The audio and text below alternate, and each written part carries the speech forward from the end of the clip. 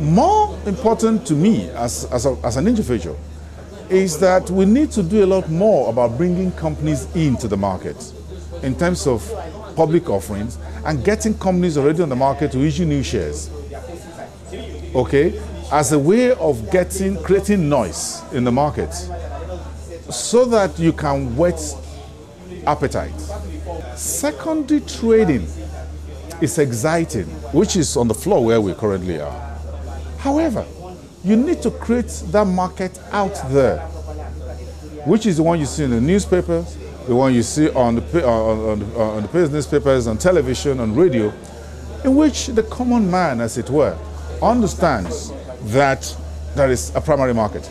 Nigerian have done a lot in terms of trying to stabilize the market, which is what we are seeing now, which is what we are seeing also, for which has even given rise to your question.